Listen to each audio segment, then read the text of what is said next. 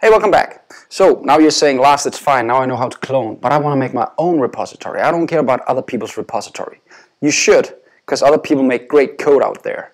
Uh, so you might want to learn to use other people's code as a startup. But that being said, you can make your own. I'm going to show you in this lesson a command called git init. And the git init command is for us to take a directory and say this is a git folder. And all it's doing behind the scenes is just adding this .git folder for you, right? So that we can start tracking history for a specific folder. So let's try and do it. I'm going to do this using the terminal first. And I want that because I want to show you the very basic way to do a git init where the GitHub desktop client, he also adds some files and does some more, uh, adds some more information than we actually require for a very basic git init. So I just want to show you how we can do it using a command to initialize our own GitHub repository. So let's try and do that. Let's uh, start out by just looking at the PowerShell. I just started up um, the git shell here. And here I have my git commands. So I want to do a git init. And let's just read the documentation again. I found this tutorial under atlassian.com. And if you want the path, let me just zoom a bit.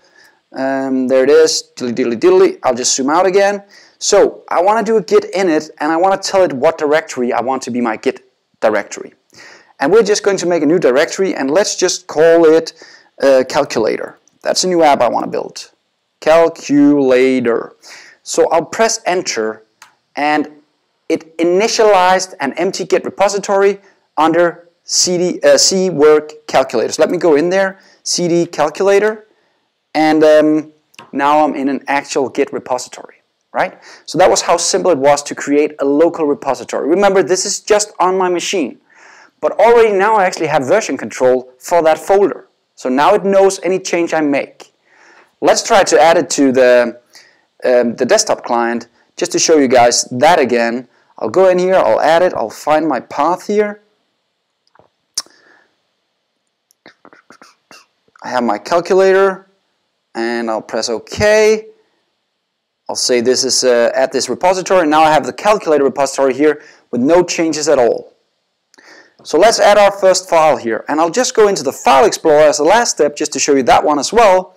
Under Work, I have a new folder called Calculator. All it contains is the actual Git folder. So let's just add a new document here. I'll just add a new text document. Very basic. Just call it cheese, a text. And in there, I'll just add a bit of text.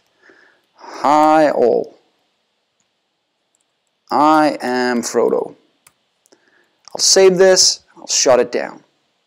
Okay, so now I can actually see this change in here. Just like I showed you before, in the Git desktop client, I can actually see that I added a new file here.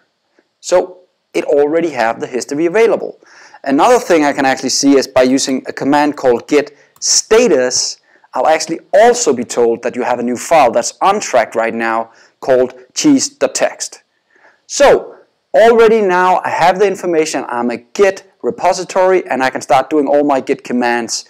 It's not in the cloud, it's on your local machine, but you still have the version control available until your machine is destroyed or your hard disk is lost.